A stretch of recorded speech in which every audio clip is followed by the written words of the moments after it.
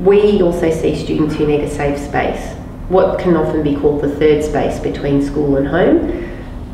For whatever reason, they're bullied in the playground, they're just a solitary person, they're going through personal things, you know. Some of them use that space, and if you haven't got someone there who's in touch or empathetic, um, they lose that safe space. And oftentimes, with those students, we can then feed back quietly in the background, and then they get extra support in the school throughout the school.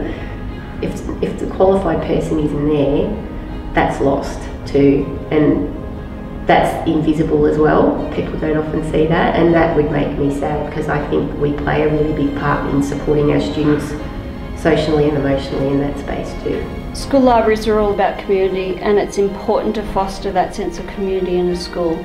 Um, without a school library, well, there's something missing within the school environment, something missing academically, something missing socially, something missing community wise.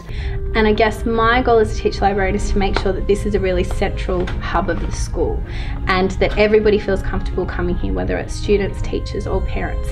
We are finding that they actually do um, like to hang out in the libraries. Yeah, the, the kids, though, we do have to fetch them when we are fetching them, we are fetching them from the library. So it definitely is a safe sort of, uh, it is a safe haven for them. So obviously we do deal with um, a lot of trauma students, and to get that safe environment for them is a big thing um, in dealing with how to heal from trauma. An excellent school library is welcoming, I think. Um, it's got to have, you know, uh, decent staff and it's got to have plenty of resources available. You can't just keep all your books tucked away in, in a little room. Uh, I think it's, yeah, it's just, it's just got to be open, I think, and approachable, much like, you know, the people who staff it.